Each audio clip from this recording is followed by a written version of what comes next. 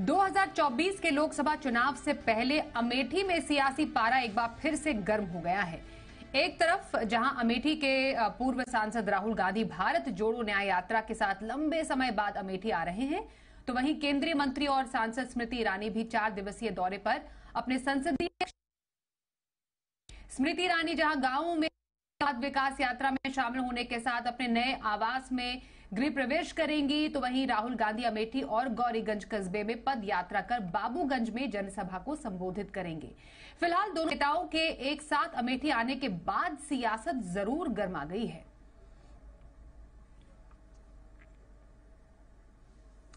और इस खबर पर अमेठी से जी मीडिया संवाददाता राहुल शुक्ला हमारे साथ है। राहुल, अमेठी में स्मृति ईरानी राहुल गांधी दोनों एक साथ कैसा है वहाँ पर माहौल? जो सियासी पारा है, वो किस तरफ़ जाता नज़र आ रहा है?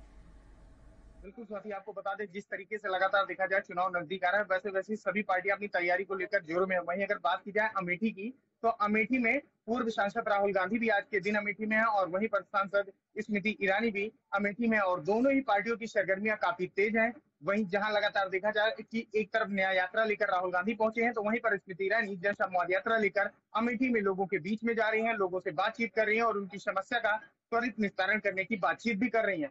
जिस समस्या का निदान नहीं हो पा रहा है, उसके लिए एक निश्चित समय दे रही हैं और अधिकारियों को दिशा निर्देशित कर रही हैं कि आप जल्द से जल्द समस्याओं का समाधान करें।